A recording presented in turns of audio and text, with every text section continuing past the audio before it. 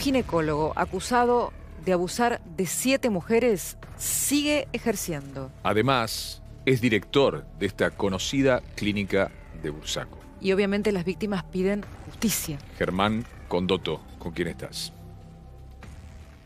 Rodi, Chris, buenas noches. Eh, me encuentro con Carlos Zimmerman, que es el representante legal de una de las mujeres que denunció a este ginecólogo. Antes de hablar con él, les voy a contar que eh, las denuncias son gravísimas, pero lo que más llama la atención acá es que la justicia recién se empezó a mover 20 años después de que la primera mujer lo denunciara. Sí, estamos hablando del año 2000, una denuncia que quedó archivada, la de ella y la de cuatro mujeres más que también se presentaron por su cuenta a denunciarlo por un abuso eh, similar, eh, gravísimo, con características que ahora nos va a detallar el, el abogado. Pero con todo esto, teniendo en cuenta que recién se empieza a mover la justicia, doctor, cuando ustedes toman la causa ahora, eh, ¿por qué todavía sigue ejerciendo? ¿Por qué todavía tiene la matrícula habilitada? ¿Y por qué no está detenido? Bien, eh, sí, en principio hoy está imputado y procesado por cinco em, delitos contra cinco víctimas por abuso sexual gravemente ultrajante eh, y dos denuncias más que se han incorporado últimamente que van Em, acumularse con, esta, con, este, con estas cinco que ya está procesado. Eh, él sigue ejerciendo hasta el día de hoy a la mañana, estaba hoy en su clínica. Él no solamente es director, sino que es dueño de este centro em, de atención em, y sigue ejerciendo porque el colegio médico no ha tomado las medidas administrativas disciplinarias, aunque sea cautelares, para determinar que por el momento, con estos cinco, cinco las cinco imputaciones, eh, no podría seguir ejerciendo eh, su profesión. Yo hablaba recién de una denuncia inicial del año 2000 que quedó archivada eh, y otras denuncias que fueron sumando, pero una vez que tomó esto Estado público, empezaron a caer denuncias y crecieron de manera exponencial, ¿no? Claro, hoy estábamos en la puerta de este centro médico y mientras estábamos haciendo algunos reportajes, algunas notas, eh, vinculadas con este tema, pasaban mujeres diciendo que también habían sido víctimas y otras se comunicaron vía internet o vía Facebook o vía Instagram eh, para también hacer saber que ellas también habían sido víctimas de abuso sexual por parte de este ginecólogo que utilizaba claramente la consulta en una situación de desigualdad muy fuerte, él con poder y las víctimas con un estado de vulnerabilidad eh, increíble debido a que había como un perfil de elegir a las víctimas, mujeres jóvenes de primera consulta ginecológica, con desconocimiento eh, eh, claramente de la práctica médica, y él aprovechaba esa situación para realizar los abusos. Doctor las víctimas han...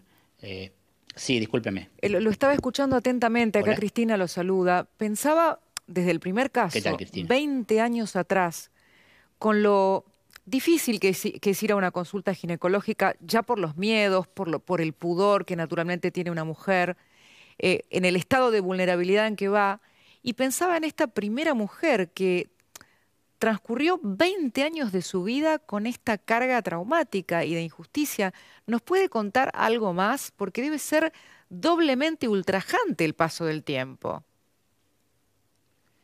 Bueno, por supuesto, no solamente el paso del tiempo, sino la impunidad, porque las causas, las primeras causas se, archivaron, las primeras cuatro causas de estas que tiene eh, hoy en la imputación el doctor Clementi fueron archivadas por la Fiscalía. Eh, cuando llegamos nosotros con la representación de una de las víctimas, eh, logramos acumular todas esas denuncias a otra denuncia, entonces todas las causas corrieron de manera eh, paralela y es ahí donde la Fiscalía, a partir de la intervención nuestra y de medidas que se tomaron, decide imputarlos por la cantidad de hechos, que en este momento son cinco, más dos acumuladas, más otra cantidad que, de mujeres que se comunicaron con nosotros, eh, tanto conmigo como con la doctora Claudia Perugino, que es mi socia y la que lleva eh, todo el tratamiento de este, de este expediente también. ¿Y siempre el modus operandi era el mismo, doctor? mujeres siempre el modus operandi el mismo, es decir, en medio de una consulta ginecológica. Claro. Claro, y no solamente eso, sino que él aprovechaba una situación de poder que tenía ahí y como decía antes, una situación de vulnerabilidad de las personas que en ese momento están absolutamente indefensas y él aprovechaba toda esa situación eh, para, bueno, cometer los abusos, en virtud de que también hay que decir con claridad que no existe ningún protocolo de actuación médica vinculado con la consulta ginecológica, lo que a nosotros nos parece nos parece grave y creo que ahí habría un punto como para empezar a discutir algunas cosas. Y otro punto importante, perdón, es que el la Fiscalía, la Fiscalía número 9 de Lomas de Zamora, le envió al colegio médico un oficio anoticiándolo de todos los hechos por los que estaba imputado y hasta ahora no tenemos noticias que el colegio médico haya iniciado sumario o haya tomado alguna medida precautoria, cautelar, que le impida a él seguir atendiendo como lo estaba haciendo hasta esta mañana. Si no hubiera el sentido común y sin redictimizar a las víctimas, que claro, no están hablando para protegerlas, lo que es correcto, ¿qué hacía Bueno, él, lo que hacía era aprovechar esa situación para...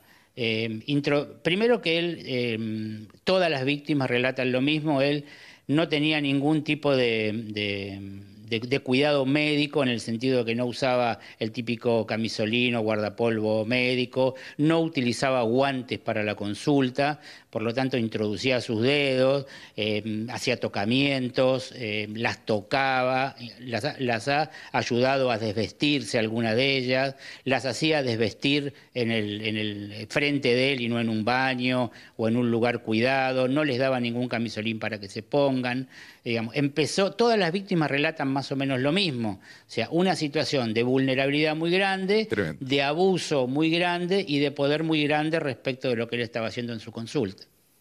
Eh, doctor, para terminar, ¿cree que lo están protegiendo? ¿Por qué el resto de los médicos, cuando en ah. realidad estamos afectando ni más ni menos que la actividad de los médicos, en algo como relataba Cristina, tan íntimo por una mujer como es una consulta ginecológica, y él interpretando que era la primera vez, era eso los momentos que elegía para abusar, ¿por qué cree que los médicos no han ejercido ya una sanción preventiva, por lo menos, hasta que la justicia decida? Yo creo que bueno, las corporaciones eh, tienden a, cerrarse y a defender eh, a sus integrantes de las peores maneras Creo que han elegido la peor, que es no dar a conocer, no sacar un comunicado, ni manifestar, ni hacer público que han eh, iniciado un sumario administrativo al menos, o un sumario disciplinario contra Clementi. Hasta ahora no lo tenemos.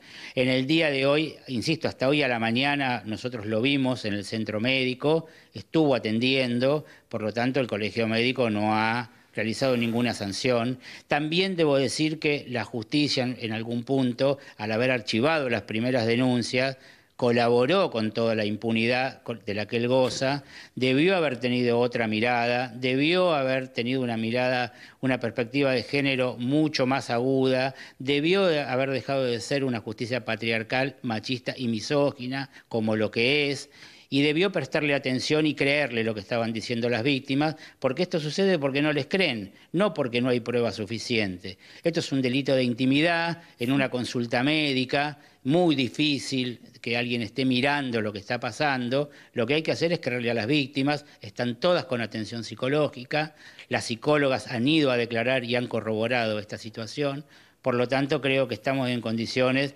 eh, para que la justicia o lo detenga o decida realmente elevar la causa a juicio con los elementos que tiene y en el juicio oral y público se lo pueda condenar. Doctor Carlos Zimmerman, muchas gracias por estar con nosotros. Muy amable, doctor. Por favor, gracias a usted. Gracias, Germán.